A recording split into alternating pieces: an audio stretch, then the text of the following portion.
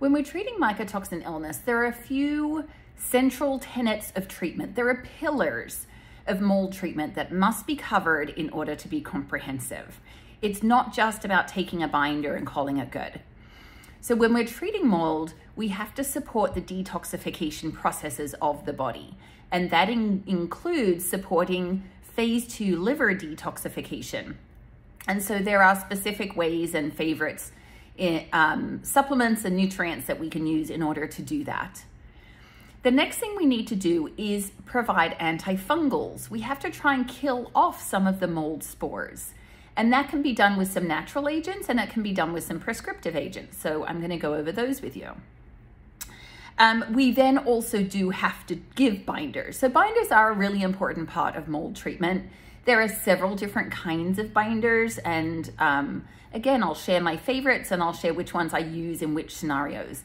Um, once again, some are natural, some are uh, pharmaceutical, um, some are more gentle, some are more aggressive, but binders are really an important part. And then the other thing we have to address is colonization of mold, both in the sinuses and in the gut. So a lot of people have like sinus issues, congestion, and of course, that can be part of mold allergy, which is, as I've described in a previous video, that's different to mold toxicity. But if someone has high levels of mold toxins, they may well have mold in their nasal cavity, in their sinuses. And we can test that to some extent with a nasal swab through Microbiology DX.